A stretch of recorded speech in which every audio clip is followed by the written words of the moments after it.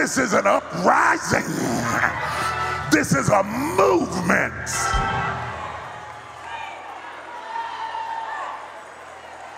Don't be depressed when church folk don't like it.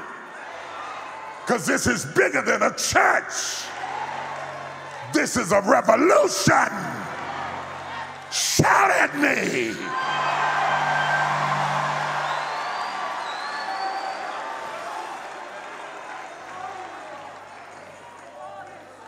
They're going to come to you for transformation, but they're going to connect to you from the place of your frustration.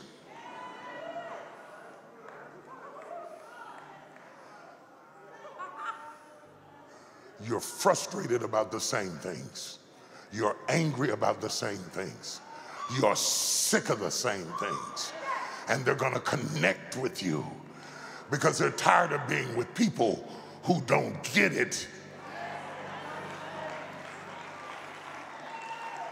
Who gets it in here? That's why I tell people everywhere there is no place I would rather preach than right here at the potter's house.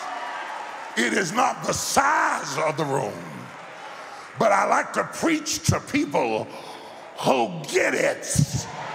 Holler at me, I get it. Type